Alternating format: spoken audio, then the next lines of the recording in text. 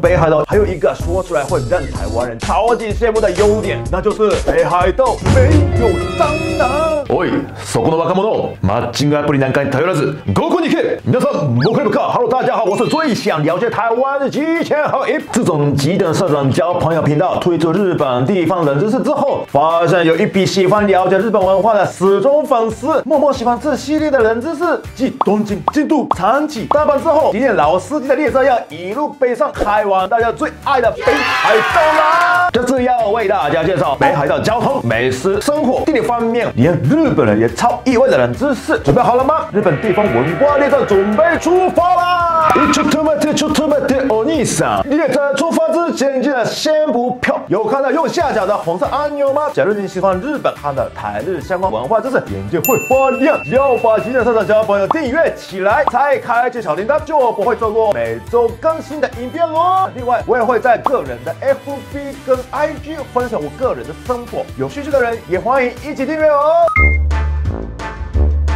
假如有去过北海道自驾的话，仔细看会发现北海道的红绿灯几乎都是直视的。台湾和东京都是以横视为主，为什么只有北海道是直视的呢？原因是为了避免积雪。北海道雪季大约从十一月中到隔年三月中，长的四个月的时间都被雪包围。如果红绿灯是横视的话，积雪面积较大，长时间承受积雪的重量会导致红绿灯倾斜，容易故障。所以除了北海道之外，其他像青森、新系等。积雪多的地区也几乎都是直视的红绿灯。另外，因为闪电省能源，日本越来越多地方的红绿灯改成 LED 式，偏偏只有北海道一直是日本全国普及率最低的地方。截至二零一八年的调查，第一名的东京普及率百分之百，北海道却只有二十四八。普及率低落的原因也是跟下雪有关哦。LED 红绿灯的发热量比传统灯泡少，所以遇到下雪时，积雪会轻易盖住灯泡。传统灯泡因为会发热，即使有积雪也很快就。融化，因为能维持交通的安全，所以虽然乍看之下很不环保，但背后也是有身为雪国之都的无奈。除了刚刚说的红绿灯，北海道的公路上常会看到红白相间的箭头高挂在天空上。哎，这可不是打卡景点，也不是游戏道具哦，它叫做哑巴呢，是用来告诉驾驶车道边界的指示牌。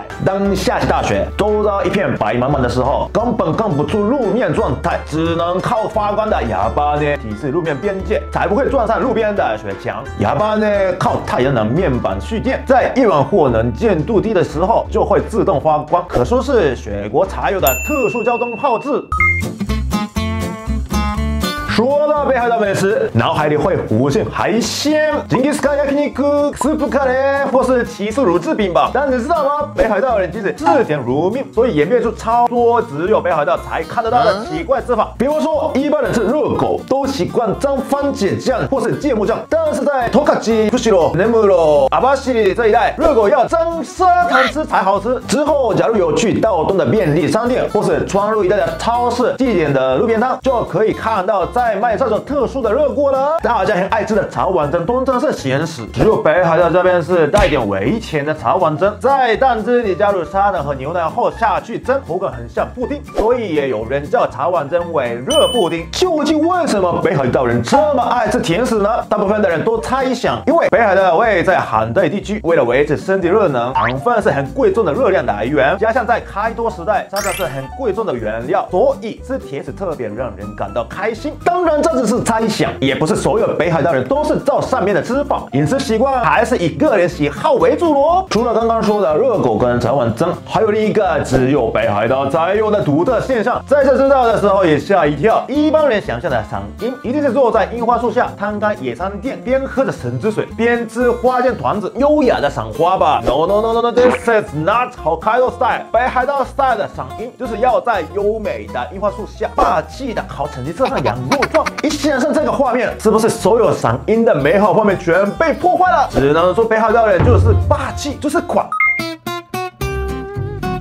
二零二零年公布的史密代头都 Ken Ranking 中，北海道再次蝉联第三名。北海道因为城市便利，有丰富的自然景观。除此之外，还有一个说出来会让台湾人超级羡慕的优点，那就是北海道没有蟑螂。这个都市传说几乎所有日本人都听过。在这很遗憾的要跟大家说，北海道其实是有蟑螂的。二零零二年发表《札幌市における山ゴキブリの初記録研究》，才证明札幌市的确有蟑螂的存在， 只是数量比起日本其他地区还要少，根本没什么人见过，所以这个都市传说才会被流传下来。那到底为什么北海道的蟑螂这么少呢？没错，当然就是跟气温有关了。蟑螂喜欢的温度是介于二十度到三十二度之间，喜欢在春季到秋季之间出没，而北海道夏天的平均温度就在十七点五到二十度之间，冬天更不用说，都在零下的气温徘徊，对蟑螂来说不是很友善的生存环境，所以数量才这么少。但其实这几年来，北海道的蟑螂有增加的趋势哦，主要是因为移动途径增加了，蟑螂会透过这三种方法前进北海道：第一，货品搬运的纸箱或是盒子；第二，躲在汽车或船、飞机等交通工具一起移动；第三，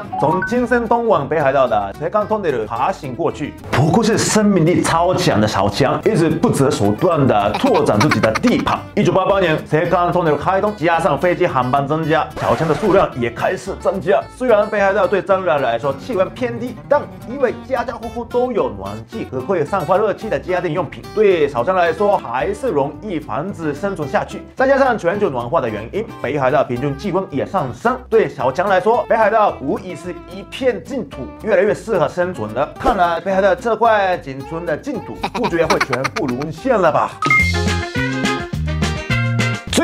要来跟大家分享北海道地名的冷知识了，你知道吗？就是北海道里面很多地名看起来虽然是汉字，但念法对我们日本人来说也是母萨萨。这是因为在十九世纪以前，都是当地的原住民爱奴民族生活在北海道这块土地上，所以许多地名都是沿用自爱奴族语而来的。北海道的四丁村里有八成都是从爱奴语来的，而爱奴族取地名通常会参考当地的地形或土地特征，所以只要知道地名。在爱奴语的意思，就可以初步了解当地的地理特色喽。在这边帮大家介绍几个旅游常去的景点。第一个是札幌 （Sapporo），爱奴族形容流经札幌市内的 Toyohiragawa 是一条流经干燥土地的大河庄。三是指干枯干燥 Polo 是指大的 Pet 是爱女的盒装，合在一起就变成 Sapporo 了。第二个要介绍的地名就是不取谐音，而是从爱女语的意思翻译过来的西装。阿萨西卡瓦，爱女语的发音是秋布